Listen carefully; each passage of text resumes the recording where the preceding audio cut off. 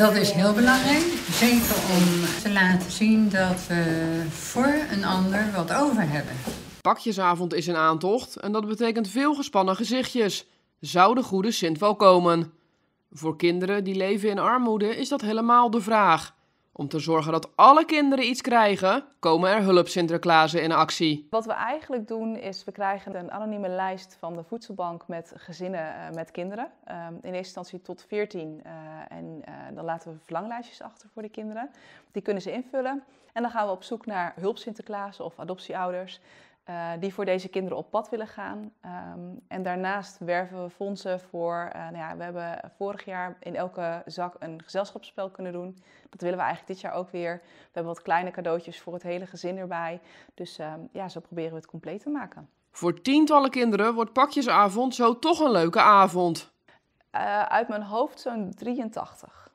Ja, variërend van de leeftijd van 0 tot 20. De oudste is 20 als jij op school zit en je speelt met je vriendjes en vriendinnetjes en iedereen heeft het over Sinterklaas en cadeautjes die ze gekregen hebben, dat ook een kind wat afhankelijk is van de voedselbank uh, mag praten over cadeautjes en een leuke 5 decemberavond.